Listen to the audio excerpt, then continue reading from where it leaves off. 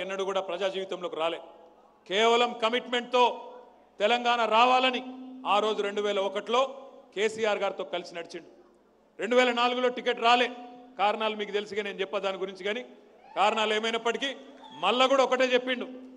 నేను గులాబీ కండువనే వేసుకుంటా కానీ వేరే గుర్తు మీద పోటీ చేయాల్సి వస్తున్నది పోటీ చేసి మళ్ళా కేసీఆర్ తమ్ముళ్ళాగా కేసీఆర్ దగ్గరికే పోతాను ఆ రోజే చెప్పిండు. సరే దురదృష్టం కొన్ని కొన్ని సందర్భాల్లో కొన్ని జల్దైతాయి కొన్ని ఆలస్యం అవుతాయి కానీ మొత్తానికి ఎల్లారెడ్డి ప్రజల దయతో మీ ఆశీర్వాదంతో మొత్తం రాష్ట్రంలోనే ఆనాడు రెండు వేల పద్దెనిమిదిలో రాష్ట్రం మొత్తంలోనే కాంగ్రెస్ పార్టీ ఎమ్మెల్యేలు మొత్తం గెలిచింది పంతొమ్మిది మంది అయితే అందరిలో అత్యధిక మెజారిటీతో గెలిపించింది మీరు సురేందర్ అన్నను. కానీ గెలిచిన తర్వాత కూడా ఒకటే అన్నాడు అన్న నన్ను ఏ కాంగ్రెస్ లీడర్ వచ్చి గెలిపేయలేదన్నా నన్ను గెలిపించింది మా ఎల్లారెడ్డి ప్రజలు. నన్ను కడుపులో పెట్టుకున్నది మా ఎల్లారెడ్డి ప్రజలు. నా కోసం ఇక్కడ ఏ పెద్ద నాయకుడు వచ్చి నన్ను గెలిపించింది ఏం లేదు. కేవలం ప్రజలకు నా మీద ప్రేమ ఉండి గెలిచిన కానీ నా ప్రేమ మాత్రం పక్కా చెప్తున్నా ఆ రోజు నుంచి ఈ రోజు వరకు కేసీఆర్ మీద ఉన్నది. నేను అడిగేది ఒకటే మా నియోజకవర్గ అభివృద్ధి మా నియోజకవర్గం ముంగట్టుకోవాలి మా ప్రజలు బాగుండాలి అనే ఉద్దేశంతో ముందుకొచ్చిండు. అందుకే ఇదంతా ఎందుకు చెప్తున్నా అంటే ఇప్పుడు అన్నను నేను నిన్ననే అడిగిన ఇద్దరం మ్యాచ్ ఫిక్సింగ్ చేసుకున్నాం. మ్యాచ్ ఫిక్సింగ్ చేసుకున్నాం ముందే. నేను అడిగిన అన్నను ముందే ఏం అడుగుతావో మరి? రాక రాక వస్తున్నా నేను సూర్యన్న ఏమడుగుతావు అని అడిగిన. అంటే అన్న మా దగ్గర కొన్ని బాగా చాలా రోజుల నుంచి తిప్పలు పెట్టే రోడ్లు కొన్ని ఉన్నాయి వాటి గురించి అడుగుతా అన్నాడు. నిన్ననే చెప్పిండు. నిన్న ఆదివారం అయినప్పటికీ అధికారులను లేపి చేసి ఏం చేసినా మేము ఇద్దరం కలిసి అంటే అన్నను అడిగిన ఏమేమి రోడ్లు కావాలని. ఏం చెప్పిండంటే మాకు ఆ పీడబ్ల్యూడి రోడ్ ఒకటి ఉన్నది ఎల్లుట్ల నుంచి ఎంకా వెంకటాపూర్ పోయేది రెండు పాయింట్ ఏడు కిలోమీటర్లు రెండు కోట్ల డెబ్బై లక్షల రూపాయలు. అదేవిధంగా ఇంకొక బ్రిడ్జ్ ఉన్నది. కళ్యాణి నుంచి రత్నాపూర్ పోయేది రెండు కోట్ల నలభై లక్షల రూపాయలు.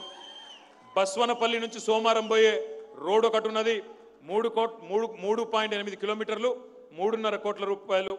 అదేవిధంగా రామారెడ్డి మండలంలో ఉప్పల్వాయి నుంచి మోసంపూర్ పోయే రోడ్డు ఉన్నది. ఒక kilometre one point two kilometres ఉన్నది.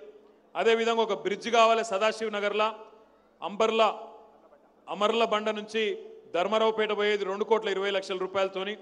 అదేవిధంగా ఎల్లారెడ్డి మండలంలో వెంకటాపూర్ అగ్రహారం పోయే రోడ్డు ఒకటి కావాలి ఏడు వందల మీటర్లు ఉన్నది డెబ్బై లక్షల రూపాయలు. అదేవిధంగా ఎల్లారెడ్డి మండలంలోనే సోమరిగడ్డ తండా ఉన్నది అక్కడ కూడా ఒక రోడ్డు కావాలి ఒక కిలోమీటర్ పైన ఉన్నది అదేవిధంగా ఎల్లారెడ్డి మండలంలోనే పీడబ్ల్యూడి రోడ్ మీకెళ్ళి మౌలన్ ఖేడ్ పోయేది ఒక మూడు కిలోమీటర్ల రోడ్డు కావాలి అదేవిధంగా లింగంపేట మండలంలో అయ్యపల్లి పీడబ్ల్యూడి రోడ్ నుంచి ప్రభుస్వామి గుడికి పోయేటందుకు అయ్యపల్లి తండా మీదకి వెళ్ళిపోయేటందుకు ఒక కిలోమీటర్ పైన ఉంటుంది అది కావాలి. లింగంపేటలోనే ఒక బ్రిడ్జ్ కావాలి ఏది? పీడబ్ల్యూడి రోడ్ మీకెళ్ళి అన్నారెడ్డిపల్లి నుంచి పోతిపల్లి పోతిపల్లి పోయే రోడ్డు పోతాయిపల్లి పోయే రోడ్డు బ్రిడ్జ్ కావాలని అడిగిండు. మొత్తం కలిపి ఇరవై కోట్ల ముప్పై ఒక్క లక్షల రూపాయలు నిన్ననే మాట్లాడుకున్నాం. ఇగో ఇదే గవర్నమెంట్ ఆర్డరు. ఇగో మీ అన్నగారికి గట్టిగా సపోర్ట్లు కొట్టాలి. ఇరవై కోట్ల రూపాయలు ఇస్తే కూడా సపోర్ట్లు కొట్టరా?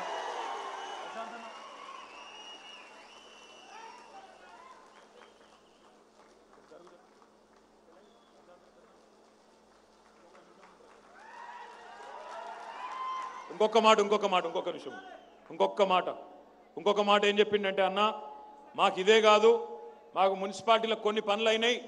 మా వాళ్ళు కౌన్సిలర్లు సర్పంచులు ముఖ్యంగా మేజర్ గ్రామ పంచాయతీల సర్పంచులు ఆ గాంధార అయినా తాడువాయ అయినా సావగొడుతుండ్రు నన్ను. మాకు అవిటికి కూడా పైసలు కావాలి ఇంకో ఇరవై ఐదు కోట్లు అన్నాడు. అది కూడా నిన్ననే బదులుకున్నాం. బదులుకొనిగో మరొక ఇరవై ఐదు కోట్ల రూపాయల జీవో కూడా తీసుకొచ్చినాం. అది కూడా అన్నగారికి ఇక్కడనే అప్పచెప్తా ఉన్నాం. ఇంతేనా మీ దమ్మంతా ఇంతేనా ఇన్ని పైసలు ఇస్తే కూడా సపట్లు కొడరా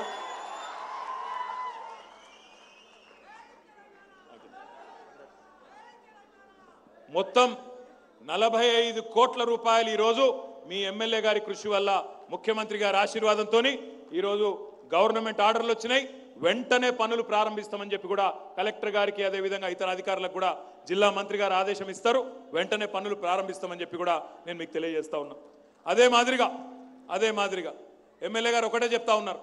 అన్నా మా నియోజకవర్గం గ్రామీణ నియోజకవర్గం. ఈ ప్రాంతంలో రైతులు ఎక్కువ ఉంటారు ఒక్క మా నియోజకవర్గంలోనే ఇదివరకు ఇక్కడికి వస్తున్నప్పుడు చెప్తా ఉండే అన్న.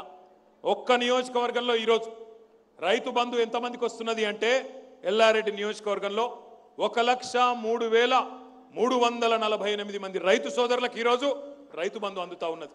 మొత్తం రాష్ట్రంలో డెబ్బై లక్షల మంది రైతులుంటే ఒక్క ఎల్లారెడ్డి నియోజకవర్గంలో ఒక లక్ష మూడు వేల మూడు వందల నలభై ఎనిమిది మంది రైతులు.